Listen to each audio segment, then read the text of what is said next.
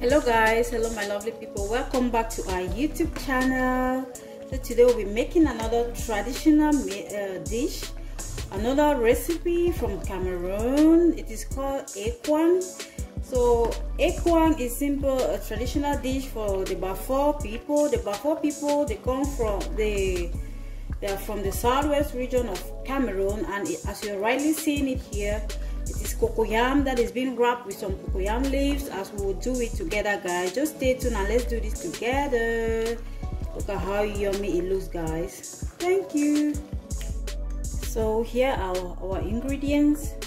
We have in here we have some uh, cocoyams that I've peeled off and then I've washed it and then I, I allow it in water. In this other bowl we have cocoyam leaves. This is how it looks like I have already shaped them and then washed them as well. Allow them in water. You can substitute this with spinach large spinach leaves yeah or sweet bitter leaf. It works just fine. You can substitute this with uh, spinach or or sweet bitter leaf. So here I have some um, uh, crayfish and one habanero some smoked fish and some cow beef that I've pre-cooked. Into this other bowl, I have uh, our ethnic spices that will just give the flavor of this dish. So like, I will just go ahead and show you here. I have what we call a uh, bush pepper or Nigerians they call I think Uziza seeds. I'll just use a little bit like half a teaspoon. Into this other, uh, here we have a uh, white pepper like I brought this to show you how it looks like. I hope you can see from there. So I for the white pepper yeah we have like a, a, eh, a tablespoon of white pepper. And then we have this is how it looks like and I'll be using the, the blended version. In, into this we into this other we have some salt and our Maggi seasoning cube. Yeah and then this other side we have half onion. You can go with one just optional. I have some some uh, uh, country onion. This is how it looks like. And this is the blended version I'll be using like a tablespoon and a half since the cocoyam is not that much. And then I have what is called bebe. This is I always show you bebe in my kitchen. So I'll just peel it off and, and grind it up. Here we have what is called uh, four corner spices. And this is how it actually looks like. So I just cut a little bit of it. Yeah.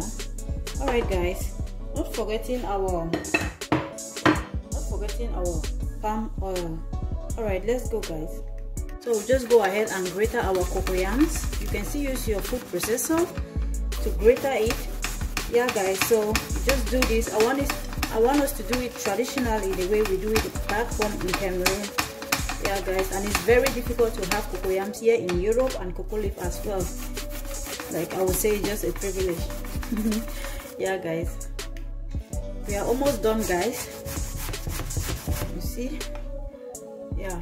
All right we are done grating our cocoyams so what we are going to do here is we just bring in a bit of salt. You have to season your your cocoyams a little bit like a teaspoon of salt and one seasoning cube yeah like mostly most people don't do this but actually you have to do this because you don't want your your the outer the soup to be tasty and then the cocoyam inside not all right guys so after you've given this a fine mix you just go ahead now and then you use some oil and then you grease your pot like the pot that we have here.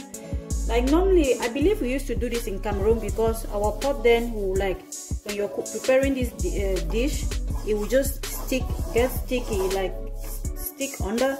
So i don't know i have this tendency like even though it's non-stick pot but i still do the same thing. Guys yeah so after you must have done grease your your pot. You mix up if your cocoyam is a little bit hard you can chip in a bit of water. Like for this one i'm just going to put in just a little bit of water. Yeah guys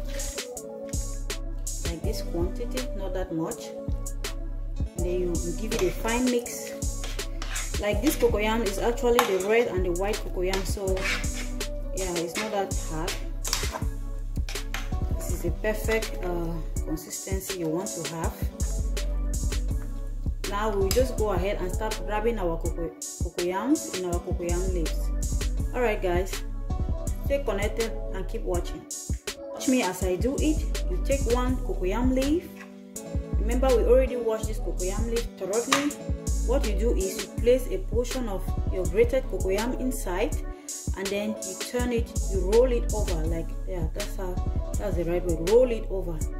Until you have this this fine shape you're seeing here. Then you place in your pot like that. I'll do it again. Watch me. You take a quantity and then you put inside your cocoyam leaf like this roll it over and make sure that everything goes inside then you roll it over and then you place guys this dish is a traditional dish and I just want you to learn something from the southwest region of Cameroon. Let's go. Alright guys, so we are done uh, wrapping up our ekwang. So I'm just going to introduce some hot water over it. Like that guys. Hot water, not cold water guys. See so that it will just coagulate the cocoyams inside the leaves. Yeah, like that. And then next we just go in we bring in introduce our seasoning. Yeah guys so after putting our hot water we just go ahead with our seasoning our onion blend. This is just optional. So we'll go ahead to, to put our our onion blend we bring in our country onion the powder. Just going to put all your seasonings now country onion. You have your white pepper. You have your bush pepper or black pepper. Just bring in your source of protein your smoked fish or what source of protein you're, you're using. And some cow meat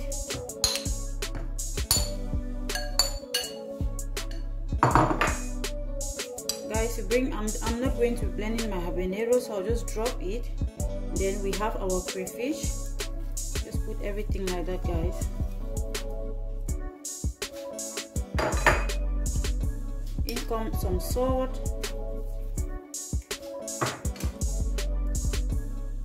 And then we bring in our palm oil